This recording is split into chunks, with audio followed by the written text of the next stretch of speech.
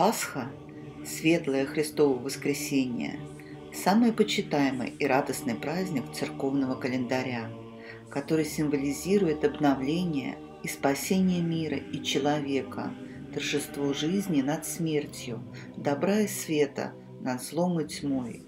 Христианская Пасха является памятью об искупительной жертве Иисуса Христа, о смерти Его на кресте и чудесном воскресении.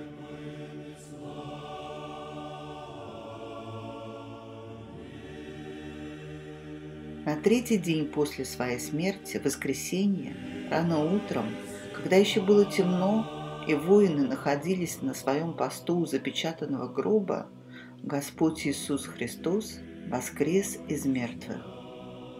Тайна воскресения, как и тайна воплощения, непостижима. Воины не видели, что произошло в пещере, и после воскресения Христа – продолжали сторожить опустевший гроб. Вскоре произошло землетрясение, когда ангел Господень, сошедший с неба, отвалил камень от двери гроба и сел на нем. Вид его был, как молния, и одежда его была бела, как снег. Воины, испугавшись ангела, разбежались.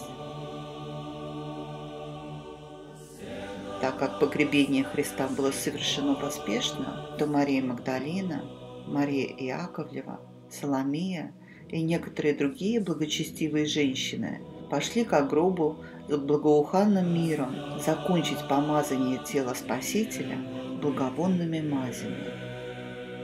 Первая пришла к гробу Мария Магдалина, но гроб оказался пустым. Мария стала плакать. Она увидела Иисуса Христа, но не узнала Его – Думая, что это садовник, она спросила, «Господин, если ты вынес его, то скажи, куда положил его, и я возьму его». Тогда Господь сказал ей, «Мария». Услышав знакомый голос, она узнала Христа и, воскликнув «Учитель!», бросилась к его ногам. Немного спустя пришли к гробу и прочие – преданные Господу ученицы, жены мироносицы. Они обнаружили, что камень, закрывавший вход в пещеру, отвален, а сам гроб пуст. Им явились два ангела и возвестили воскресение Христа. Когда же недоумевали они о сем, вдруг предстали перед ними два мужа в одеждах блистающих. И когда они были в страхе и наклонили лица свои к земле, сказали им – что вы ищете живого между мертвыми? Ангел сказал им, не бойтесь, ибо знаю, что вы ищете Иисуса распятого.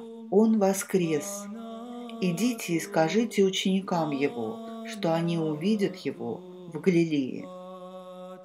Жены мироносицы поспешили поделиться этой радостной вестью с прочими апостолами. По церковному преданию – Христос сначала явился своей матери, чем утешил ее материнскую скорбь. Потом Господь явился и прочим женам-мироносицам, и всем апостолам, которые собрались, чтобы обсудить слухи о его воскресении. В течение сорокадневного периода после своего воскресения Господь еще несколько раз являлся апостолам, беседовал с ними и давал им последние наставления –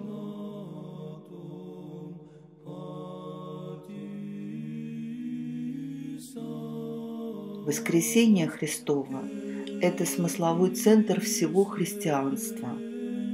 По слову святителя Иоанна Златоуста, Пасха есть праздников праздник и торжество из торжеств, в котором христиане празднуют само воскресение, неожидаемое еще, но уже совершившееся и примиряющее с собой весь мир –